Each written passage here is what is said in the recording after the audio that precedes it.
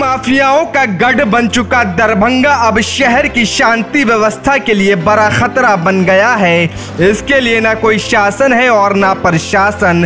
तभी तो रविवार को कादिराबाद चौक के पास अपराधियों ने अंधाधुंध गोलियाँ बरसा दी, जिसमें तीन व्यक्ति छोटू यादव, तरुण पासवान और नवल कुमार ठाकुर घायल हो गए। तरुण पासवान के आँख के पास गोली लगी है तो नवल को जांग में। हालाँकि अच्छी बात यह है कि दोनों की ही जान खतरे से बाहर है और एक का इलाज फ़िलहाल डीएमसीएच में चल रहा है। गोलीबारी के बाद अचानक कुछ देर के लिए स्थिति तनावपूर्ण हो गई।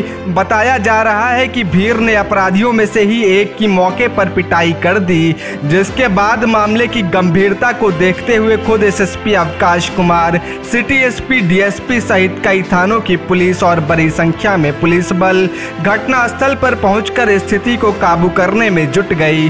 प्राप्त जानकारी के अनुसार यह पूरा मामला जमीनी विवाद का है, लेकिन स्थानीय लोग अभी भी कुछ भी कहने से बच रहे हैं। जैसे घर से लोग गोलीबारी का आरोप लगा रहे थे, वहाँ से पुलिस ने तीन महिला और एक युवक को हिरासत में लिया है। किसने गोली चलाई, कितने लोग थे, क्या कारण था, इस पर कोई भी पुष्ट जानकारी नहीं मिल पाई है। लेकिन इतना ज़रूर है कि पुलिस के आला अधिकारियों की तत्परता से इस घटना को दूसरा रंग रूप देने वालों के मंसूबे पर पानी फिर गया है और अब स्थिति पूरी तरह नियंत्रण में है। सर्वर कौन है? सर्वर दोस्त है।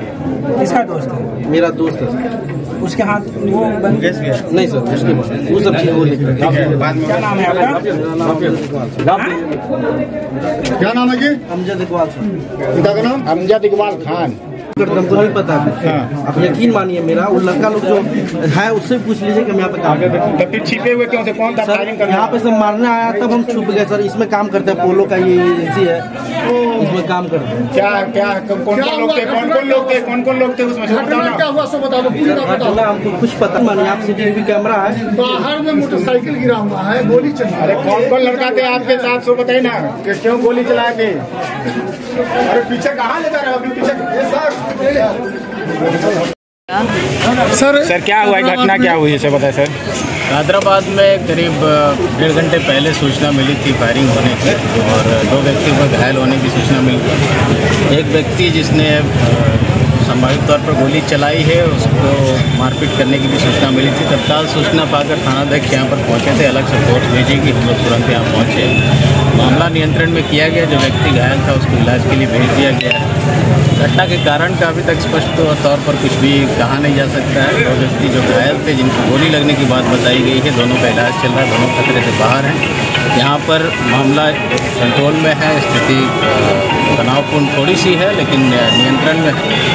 यहाँ जो पूजा पंडाल के लोग हैं, उन लोगों का भी काफ़ी सहयोग रहा है। लोगों ने अपील, लोगों से अपील की है उन्होंने भी। और हम लोग की भी यही अपील है कि ये दो व्यक्तियों के बीच की लड़ाई है, इसे कोई और देने की आवश्यकता नहीं है। पूजा, पर्व, त्यौहार हम लोग अच्छे से मनाएँ और हर्षोल्लास से मनाएँ। बाकी कोई भी दिक्कत होती है, कानून अपने हाथ में ना लें, हम लोग को सूचना दें। पुलिस के द्वारा तत्काल उस पर कार्रवाई की सर, घटना में कितने लोग शामिल थे? लगभग क्या जानकारी मिल पा रही है? अभी स्पष्ट तौर पर कुछ कह पाना मुश्किल है बट तीन से छः लोगों के बीच की बात यहाँ के लोग बता रहे हैं कि तीन से छः लोग हो सकते हैं। बाकी अभी जब आगे अनुसंधान होगा गिरफ्तारियाँ होगी तब विशेष तौर पर फायरिंग कितने हुई है सर? इस पर भी कुछ कह पाना अभी संभव नहीं है कुछ लोग तो अनगिनत भी बताते हैं कुछ लोग बता रहे हैं चार राउंड पाँच राउंड बहुत से लोग बता रहे हैं अंधाधुंध टाइप बट अभी स्पष्ट तौर पर कुछ नहीं कह सकते दो व्यक्ति घायल ज़रूर है उस पर जिनका इलाज चल रहा है और खतरे से बाहर हैं आगे जो भी कार्रवाई होगी जो भी अनुसंधान में बात सामने आएगी आप लोगों के साथ सर पहचान हो पाई जो है, व्यक्ति गिरफ़्तार हुआ है? जो व्यक्ति गिरफ़्तार हुआ, उसकी पहचान हो पाई चूँकि लोग कह रहे हैं बाहर के लोग हैं कुछ लोग कह रहे हैं कि अभी तो उनको इलाज के लिए भेजा गया है आगे की कार्रवाई हम लोग। सर जो व्यक्ति घायल हुए हैं, क्या वो पूजा समिति के हैं? देखिए, पूजा समिति में हो सकते हैं, हो। इस पर तौर पर हमें नहीं पता है उसमें किसके हैं, क्योंकि हमारी प्रायोरिटी अभी थी यहाँ पे लॉ एंड ऑर्डर को संधारण करना। और जो पूजा लोग अपने आस्था से मना रहे हैं उसमें कोई खलल ना पड़े वो अच्छे से लोग मना सके वो अभी हमारी प्रायोरिटी थी। एक बार ये कंट्रोल में हो जाएगा उसके बाद आगे जो भी अनुसंधान होगा अन्वेषण होगा उसके बाद आप लोगों को जानकारी लोग हैं है हैं बांग्लादेश के लोग रहने वाले हैं ऐसा इन्होंने इन लोगों को आरोप है जो हम इसकी पुष्टि नहीं सर सुनो तो खबर मिल है कि माफिया लोग हैं ज़मीन के मामले में जो लोग हैं वही अपराधी लोग हैं जो यहाँ पर आकर के गोली चलाए।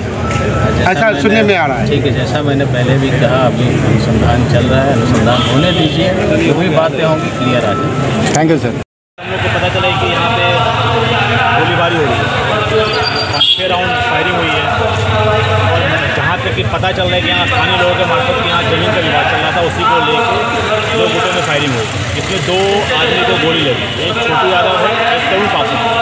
छोटू यादव के पैरों में गोली लगी है और तरुण यादव के आँख में गोली लगी इनका इलाज पास में चल रहा है और एक कहीं स्थानीय बगल में अस्पताल उसका इलाज चल रहा है और ये आज के दिन जो ये माहौल बना है ये बहुत अशोभनीय माहौल। है कि आज जो लोग सब आदमी पूजा करने के जा रहे हैं, वहाँ पे गोली चल रही है हमारे शहर में और वो भी ज़मीन पे जगह दरभंगा शहर में भू माफिया का जो वर्चस्व है, आज फिर उसने इस बात को साबित कर दिया है कि दरभंगा में भू माफियों का वर्चस्व चल रहा है। और उसी को लेके गोलीबारी हो रही है, जिसमें दो आदमी, जो जीवन और मृत्यु से एक आदमी तो अपना जिसका आँख में गोली लगी, उसकी स्थिति गंभीर रूप से घायल है। हम लोग ईश्वर से प्रार्थना करेंगे कि वो सुरक्षित रहे और जिला प्रशासन से ये अनुरोध करेंगे और ये आग्रह भी करेंगे कि जिन लोगों ने गोलीबारी का काम किया जिन लोगों ने उन दोनों लोगों को गोली मारी है उनको सख्त से सख्त 24 घंटे के अंदर में गिरफ्तारी करें और गिरफ्तारी करके स्पीड ट्रायल के माध्यम से उनको सख्त से सख्त सजा कौन है वो लोग? कौन है? बताया जा रहा है बाहर के कुछ जानकारी है कुछ स्थानीय भी हैं कुछ बाहर के भी हैं। अब पकड़ाने के बाद जब पुलिस उनसे इंट्रोगेट करेगी तो मालूम चलेगा कि वो आखिर में है कहाँ के।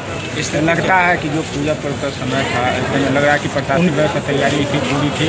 ऐसी घटना हो जाना दिन दहाड़े। आज के जो आज का जो पहला नवरात्र का दिन था तो आज पुलिस व्यवस्था जो थी सब जगह सब पंडालों में व्यवस्था थी। आज बहुत जगह कलश यात्रा भी निकाली गई। उसकी सुरक्षा को ले भी पुलिस बंदोबस्त वहाँ थी। और ऐसे दिन और दिन रविवार ऐसा समय दे के इस घटना को अंजाम करने का ये मतलब चलता है कि उन लोगों ने पहले से ही इस चीज़ की तैयारी कर रखी थी इस घटना को कब अंजाम देना है। कब सारे लोग जब पूजा में लीन रहेंगे प्रशासन पूर्ण पूजा में व्यस्त रहेगी, तब वो शांतिपूर्ण इस घटना को अंजाम देंगे। उनका मकसद यही था।